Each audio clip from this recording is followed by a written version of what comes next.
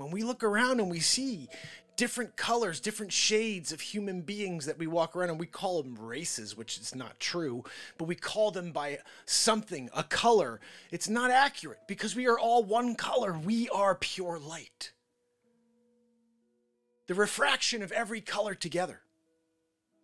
So I, I want us to stop focusing on race because there's no such thing. There's just one race, the human race. Together we are one color and we are a spectrum from, like, I'm using numbers because to me that makes the most sense from zero to a thousand. We're part of pure light. And I happen to be like, uh, let's call it a 168. Because I, I'm, I don't know if you guys realize, I'm not white. I'm part of the pure light spectrum just like you. You're my brother. You're my sister. There is no racism that's manufactured to create more division. The same division that happens from day one when we're born into this life of ours in a geographical location. There's a division that starts us off.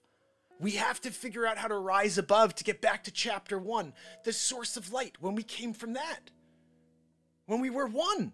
We were already one. It's not like we weren't one and now we're like hating on each other and like there's no way we could ever get along, buddy. No, we came from one. We came here split up all over the world, geographic locations, philosophies, religions, and we have to tackle and get above all of that to realize that the true religion is us all together as one beautiful, connected race, the human race.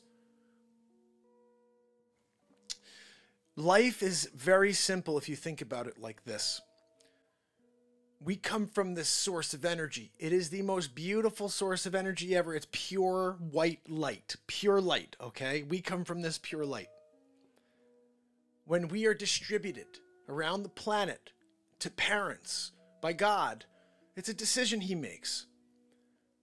The reason He's making that decision is now we are born to parents who have a specific ideology, a location that has specific religions, and then he does that with everybody all over the planet. Okay, you following me?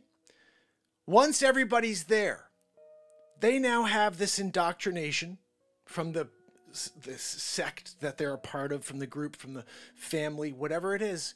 They have these thoughts, these feelings, these beliefs. What God is hoping we can realize with our free will is that if we go back to chapter one, when we were in the light, that pure light, when we were all part of the same source of energy?